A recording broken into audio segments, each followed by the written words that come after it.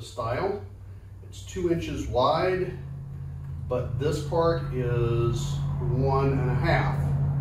So we need to come in three quarters from the edge of here to make it dead center into the center of the stile. So this is at 3 eighths. So if we come over three quarters, that'd be one and a quarter inches. Is that right? Uh, one and an eighth inches. One and an eighth inches uh, would make it square in the center of the stile. Um, no, I think I'm going to go with the one inch because that'll that'll center it between the inside uh, edge of it and the outside edge of it. That looks more more natural. So we're going to say that it's going to be one inch. So we're going to set this piece at one inch, right? Which should put should put our our hole exactly in the middle of the stile. So we'll put that there, and we will, we have a another stop over here that allows us to uh, to put in to to put the hole where we want it to be. Now, it also you'll notice uh, we have multiple pieces on here. So you can actually put in pulls that have two, uh, two screws in them, two screw holes, uh, and have them perfectly aligned. I usually put the screws through here, put the, put the, the pull on there, um, and then get it centered so that I know that these holes are exactly far enough apart um, to accommodate the pull. Uh, in the case of a single pull, we can actually take these off and do just a single pull, right? So um, we're going to put the, the stop back on.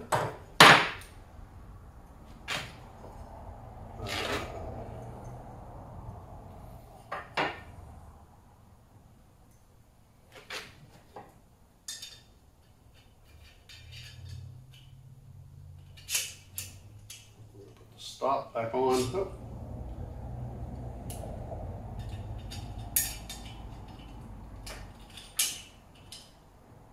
We're going to put the stop back on. There we go. Now, we've got the stop back on. We've got it at one inch uh, this way.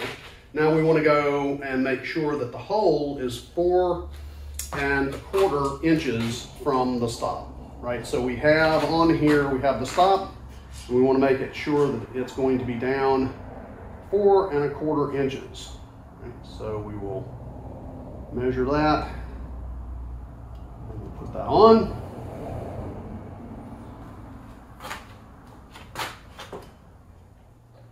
And that will give us our our uh,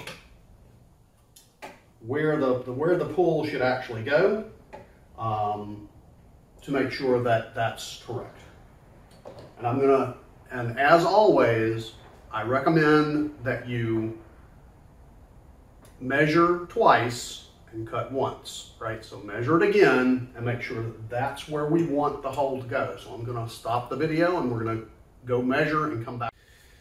So I'm back here. I did measure and the measurements came out just a tiny, the tiniest bit difference, right? So we want to make sure that we are going and looking at the existing cabinets and then sighting through our uh, drill hole to make sure that it aligns with screws that are already in the other cabinets. It can be a little bit different. People won't notice the difference, but it, if it's more than about a quarter of an inch off, people will start to notice that's uh, at, at the wrong spot. So what we want to do We've got this set. These are tightened down. And the good thing about doing it with this jig is that uh, you can do multiple doors and have them all lined up exactly right, right? So what we're gonna do, we're gonna put in our drill bit, and then we're gonna drill this hole. And again, challenge you to make sure that you are drilling in the right spot. It's not that it's a, it's not that it's a game changer or it's a, a serious problem. You could always fill the hole in, repaint, but it will cause you, it will cause you additional work. We don't, we want to avoid that. And so, what I'm going to do, actually, what I'm going to do is I'm going to get my drilling block from over here. Sorry about the, the state of the, the garage, by the way. Um, I'm to get my drilling block and I'm going to do it on the drilling block so that um, we have uh, a steady place to do it. Um, and I can hold it down and it won't go through uh, my other wood that I'm working on here. Which, by the way, this uh, this butcher block that you see uh, will be will be the um, the uh, will be the uh, uh, the countertop for my new counters. So I'm going to drill this through.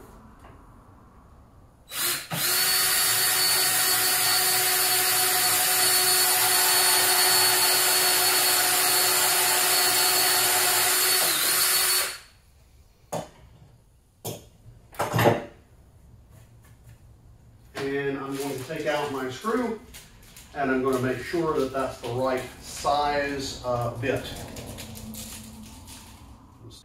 So I've gone back and I've checked um, the size of the of the screw. It does fit in there. Uh, everything's fine, but I want to point out something to you, right? So when we put the screw in here, um, if we don't countersink it, right, it's going to sit on top of this, right? And I prefer that it be countersunk.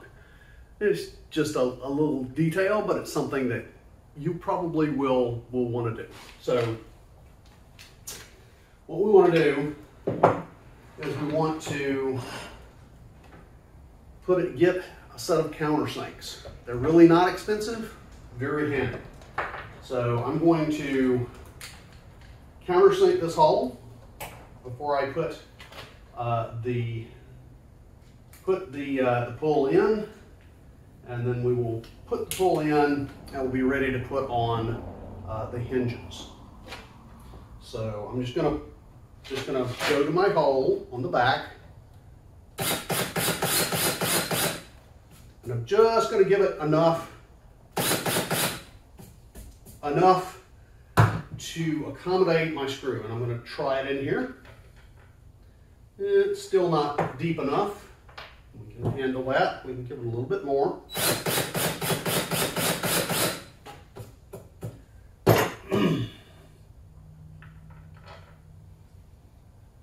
a little bit more yet still, right?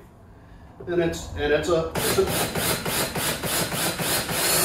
it's an iterative process. You want to take your time with it, make sure it's the way you want it, right? So I like that. So that's that's uh, countersunk. And not all, you, will notice that in standard cabinets, they don't do that. And so that's just a little, a little extra that, you know, helps uh, you to do what you need to do. Um, I am going to now put the, the piece on and we'll screw it in.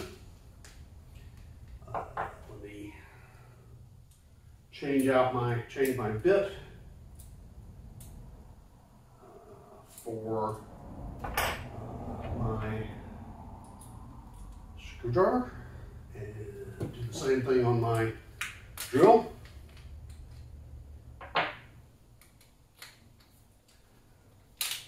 So I'm going to put this in. One thing you'll notice, right, if you look real close at that, right, there are some little, little knobs on the end, right? And that's to make sure it doesn't twist. Over time, the old knobs, since they'd be flat on this end, would twist. Since then, you know, in the last 20 years or so, they've, they've come to the realization maybe you don't want them to twist and come off. So now when you screw it in, those, those create divots in the wood that keep it from twisting and coming out later on. So they're much more um, uh, consistent now, right? But you also need to, to screw from the back and make sure that they are, that it is firmly planted when you um, when you get it going on this, right? So you want to make sure that you've screwed it as far far in as you can, right? And then just a little bit more, and then hold it.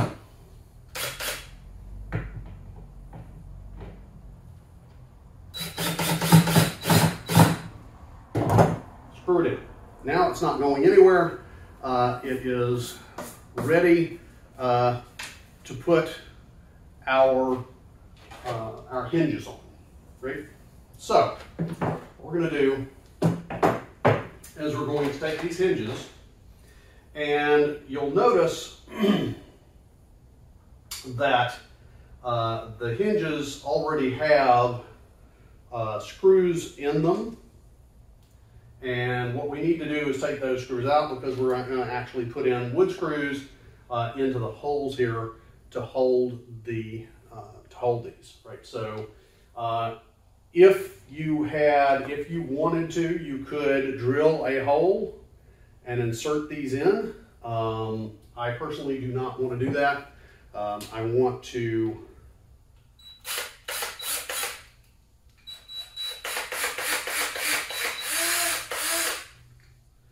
I want to put them in directly, uh, the screws directly uh, into the wood. All right, so I'm going to take these, these screws out and I'll take these little plastic pieces off of it.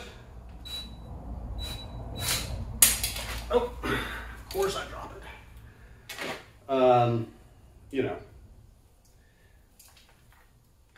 that's the way things happen, right? You always end up dropping things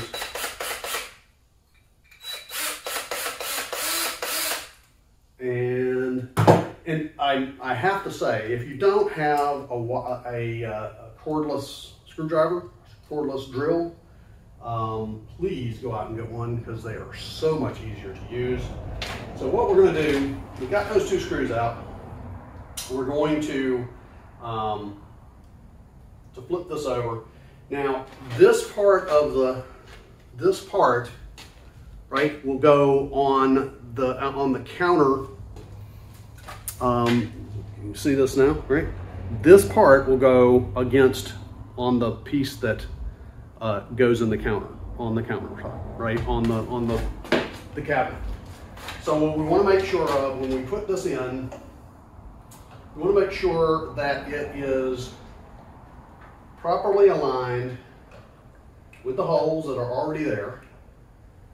And then we want to put the uh, put the screws in for this. I actually have some screws already available uh, for this. Little attachment, right?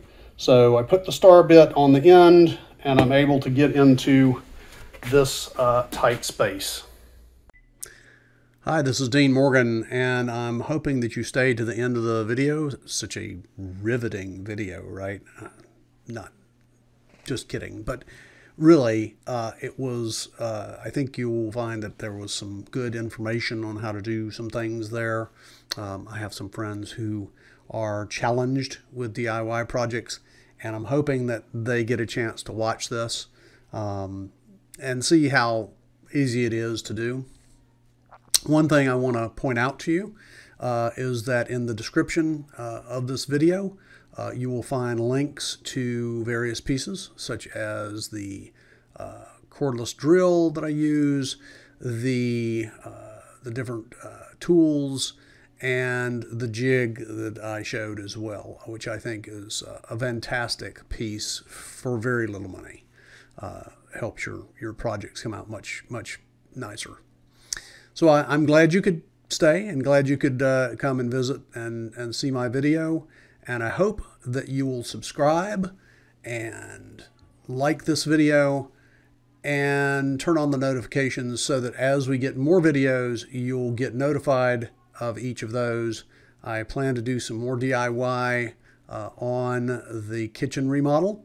Uh, the next piece will probably be the cutting of the uh, countertop, uh, which is uh, butcher block, and then the staining of the same. So all of that is going to be riveting video. Thank you for coming. Good night.